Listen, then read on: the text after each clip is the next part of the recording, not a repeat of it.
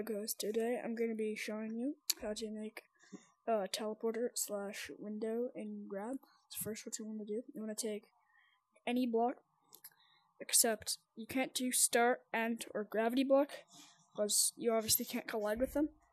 So first, what you want to do, take a block, flatten it, go to animate, add two frames at the first position you want it to be, move it, add two frames there.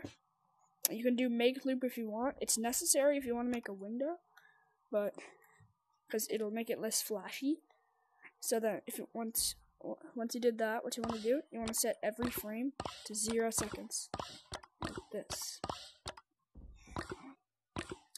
And then you see you have a teleporter. It works half the time. Um, yeah, see it works sometimes. It works most of the time. Like, make sure there's no wall blocking this path, though.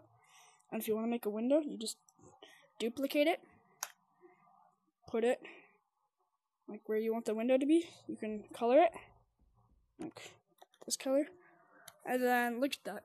You got yourself a window in Grab. Thanks for watching. Um, I haven't uploaded in a long time, so